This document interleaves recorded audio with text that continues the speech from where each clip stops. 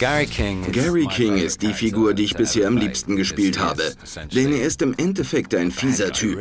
Nichts für ungut, er ist das nicht absichtlich. Er ist einfach getrieben von seinem Wunsch, wieder jung zu sein und die Tage seiner Jugend nachzuleben.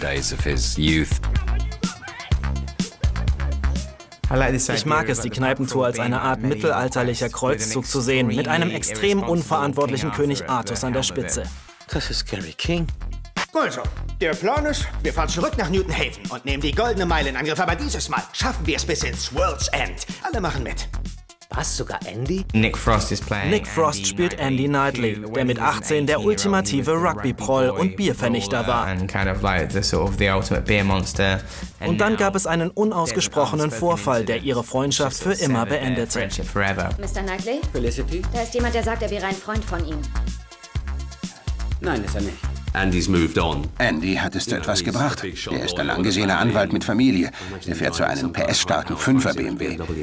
Und Gary hat sich gar nicht verändert. Er ist genau der gleiche geblieben. Und das führt zu großen Spannungen. Was soll das Ganze, Gary? Wieso sind wir überhaupt hier? Wir wollen uns heute den Verstand auslöschen lassen. Martin Freeman. Martin Freeman spielt Oliver, der eine Mischung aus ein paar meiner Freunde ist. Er war in der Schule schon ein Yuppie.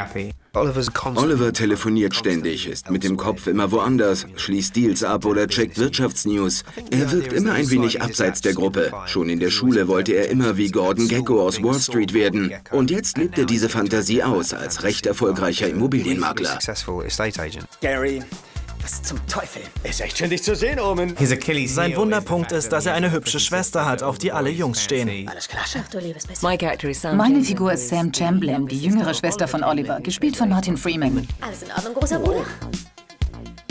Gary, Ihre Beziehung zu Paddys Figur Steven ist süß. Sie waren verliebt ineinander, als sie jung waren, aber kamen nie zusammen. Sie war Stevens große Liebe als Teenager.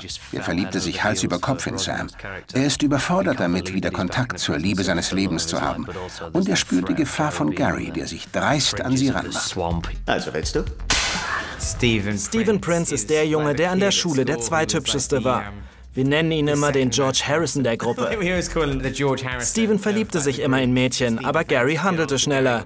Es gibt also diese Rivalität zwischen ihnen, seit Gary in der Schule immer triumphierte. Gary, es ist nicht mehr dasselbe. Und es liegt nicht daran, dass die Stadt sich verändert hat. Wir haben uns verändert. Ich spiele Peter. Er ist das Mauerblümchen der Gruppe.